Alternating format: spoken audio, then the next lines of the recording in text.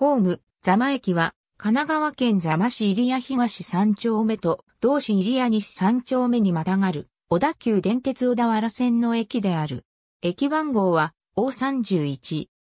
駅事務室を含めた駅施設やホームなど、当駅の設備の大部分は入谷西三丁目にあるが、住居表示実施区域のため、所在地表記は主たる出入り口とされている東口が、所在する入谷東三丁目60番街区内となる。駅西側には、神奈川県道407号、杉久保座間線が走る。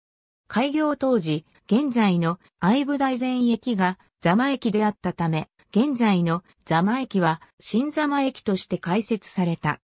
その後、当時の小田原急行鉄道が新座間駅駅前に向こうが丘遊園に続く第二の遊園地として座間遊園を造営することを計画し、駅名も座間遊園駅に改称された。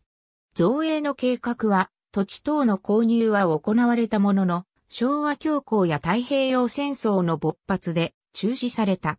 そして、ザマ遊園造営計画を破棄した1941年、駅名もザマ駅に改称された。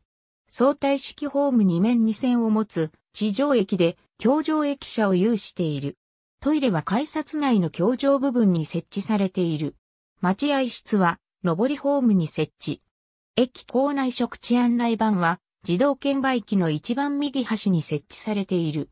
トイレ食地案内板はトイレ入り口に設置。自動体外式所再動機が改札外の橋上部分にある自動販売機の脇に設置されている。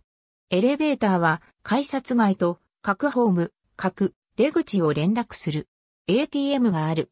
2012年度の設備投資計画にて行き先案内表示機の新設が盛り込まれた。近年の乗降人員、乗車人員の推移は下表の通り。